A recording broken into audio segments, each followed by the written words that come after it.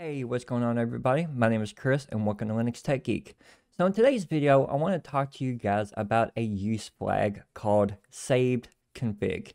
Now what saved config does is it allows you to save a configuration file, right? And then the next time that you use Portage to update a program or that specific program rather, it will use that configuration file for it's it's new configuration file, right? So, for instance, um, a lot of you guys know that I'm a Tiling Window Manager fan. Okay, so I like programs like I like uh, dmenu, I like DWM, and with a lot of these programs, one of the problems that happens is every time that you you know you make a change or you you know you, you make a change to the window manager or whatever you have to recompile that program right? Like and you have to manually go in there and recompile and everything like that. Well portage actually has this feature built in. And i didn't know about it until um, about a week ago, honestly, um, I was doing one of my streams and um, some guys was talking about it in there, how they they've used this save config uh, use flag before. And one of the coolest things about running Gentoo, in my opinion, is the fact that I learned so much. Like, I have learned so much over the years from you guys, from just doing a little bit of research online about, you know, what all Portage can do. And I, it, it blows my mind every time I learn something new because, you know, in, in my opinion, I think you know, like I'm like, man, I, I know a lot, right? No, I don't. I don't know a lot because every time I think I know a lot, one of you guys tell me something that I didn't even know about. And it, it's really, really kind of cool. All right. But in today's video, what I'm going to do is I'm going to show you how this saved config uh, file is kind of used. And uh, I'm going to be doing it in a, in a uh, virtual machine here. Now, uh, what I will say is that, of course, before making this video, I tried to do this on my actual um, bare metal. And the program that we're going to be using this on is dmenu. Now, for some reason, it didn't work here on my actual production machine. But it did work in the virtual machine. And I think the reason that it did not work simply is because I already have a version of dmenu installed. So I don't know if it's getting kind of confused or what's going on, but it does work. Um, and uh, I, like I said, we're going to be doing it in a virtual machine and I'll show you guys, okay? So let's go ahead and flip over to the desktop here and uh, let's get in the virtual machine. Now, uh, I believe that's the password. Yep. Let's go ahead and full screen this so you guys can see. Okay. Let me pull up a terminal here. And like I said, we're going to be doing this on dmenu, okay? Uh, now, you can do this on any program that has a use flag for saved config. There is a wiki on the Gentoo wiki uh, about all the programs that have this uh, this use flag. Okay, uh, but mostly your suckless software uh, they will have this feature. So the only thing that I have done is um, package uh, use. So let me show you guys here. Um, so in my package. Um, dot use uh, variable or uh, file, I, I've got an entry called dmenu, okay? And per dmenu, the only thing that I have put in here is Xinerama, right? And that's for multiple screen support, okay? And then uh, this is the one that you want though. You want saved config. So if we do EIX dmenu, you can see that save config is one of its use flags, right? So let's go ahead and install dmenu here. Um, if I can remember my password here on this VM. Um, so emerge dmenu, okay? And now it's going to pull in um, all that stuff. And you're going to see right here, you're going to see a, a, kind of a special message. And it says, no saved config to restore. Please remove use flag, save config, or provide a configuration file. The first time that you install a, a program with this save config um, use flag set, uh, it will kind of gripe at you because there's no save config file for it to, to read, right?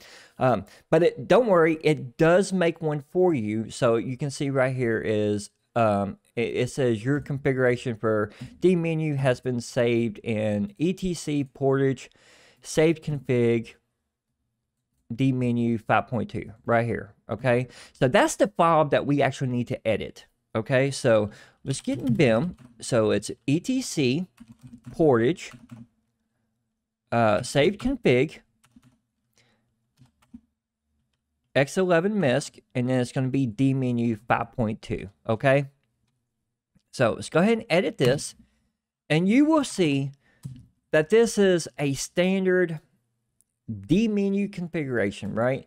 It, this is the same thing as if you would edit the config.def.h file um, if you just simply did a git clone, okay? Uh, now, if you want syntax support, there is a thing on the wiki that says that you can uh, you can make a symbolic link uh, to turn it into a .h file, so that way you do have um, uh, you do have syntax support. Now, dmenu is a very small program. I, I, I don't really need syntax support for something like this.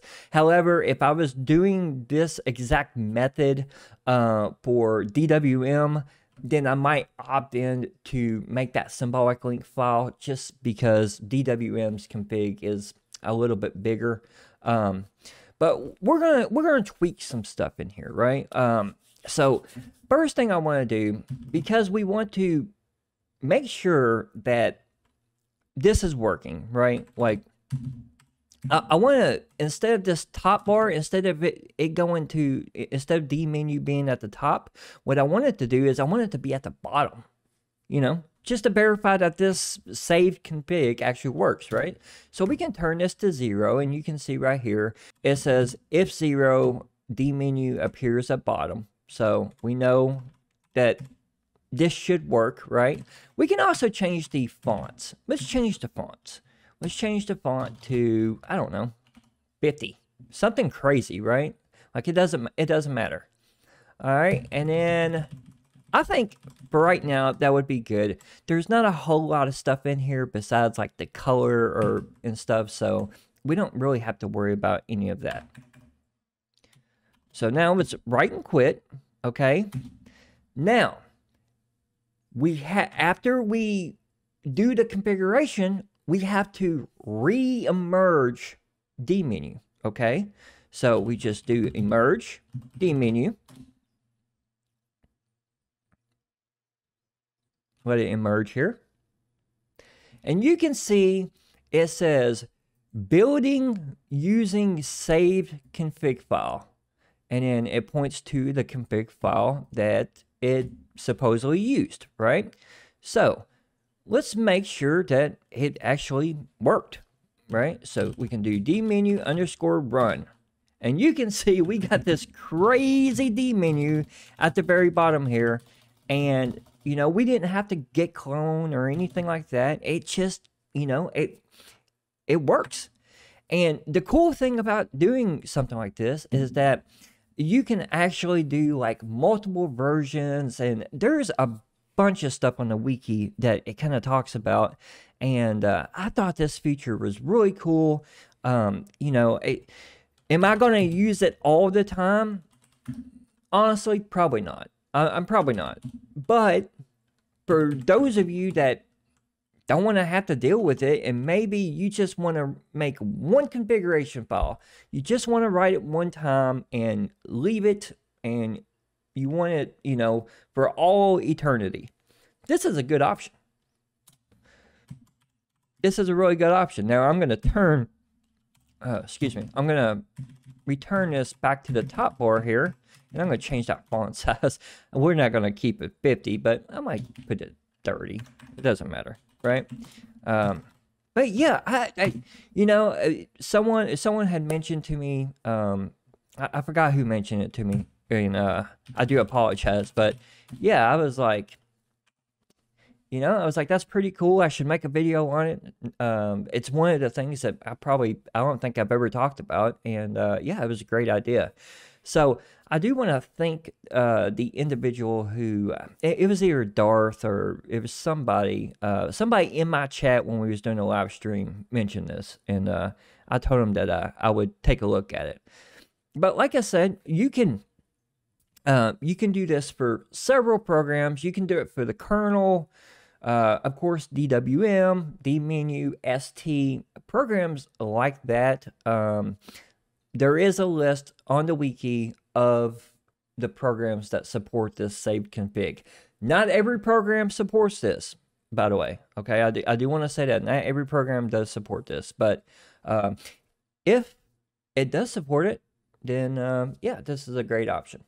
So I hope you guys enjoyed the video and you learned um, a little something. Um, let me know in the comments what you guys think and uh, let me know if you guys are thinking about maybe using this save config uh, use flag. Come check out the stream. Uh, I've been streaming on Mondays, okay? Um, so how my streams are going to be set up now is that every week we're going to pick a program, right?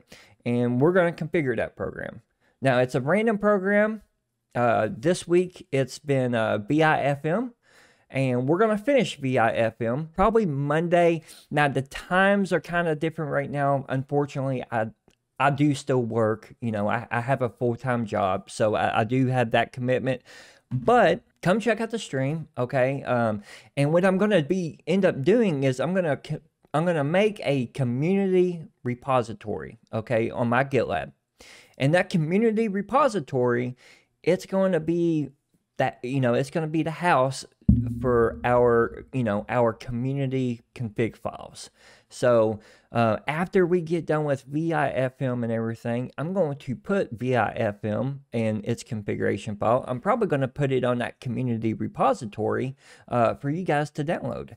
And the cool thing about the community repository is that if you guys want to make a merge request or if you guys want to make a change, feel free. It, it, it's not it's not going to bother me any, okay? And it allows you to stop by the stream. You can say hello to me. Um, we can, we'll talk, do whatever. So if you guys like have any questions or anything like that, you guys can feel free to ask me, and hopefully I answer them. So eventually, what I'm going to do is I'm going to have a poll up every week, um, asking you guys, the community, what program we should uh, we should configure next. So that way everyone has a little bit of input on the program and uh, I just think it would make the stream a little bit better. All right. But I do want to thank you guys for watching. Uh, leave me a comment down below if you have any questions. And until next time, I want you guys to take care, be safe, and peace. Bye, guys.